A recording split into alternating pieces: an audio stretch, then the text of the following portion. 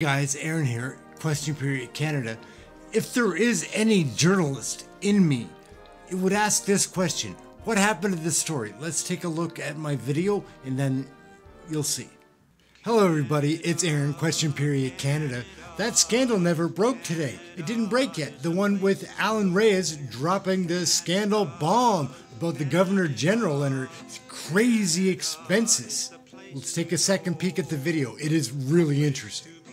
Mr. Speaker, after the Governor General's lavish spending on international travel, we've learned her office spent over $117,000 on dry cleaning since 2018, an average of $1,800 per month.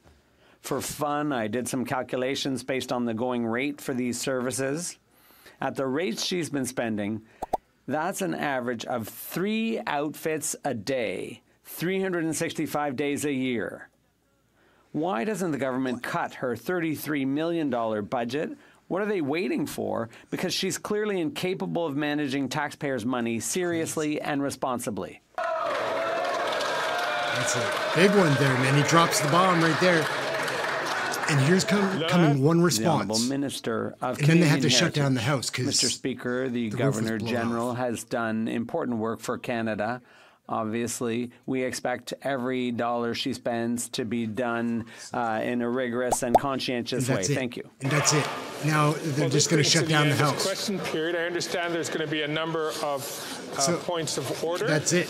Uh, I'd first like to recognize. They he he blew it up. Alan Rayes, interesting, right? Independent. Global CTV, CBC, nobody's covering it. We are. Like, subscribe. We'll be back.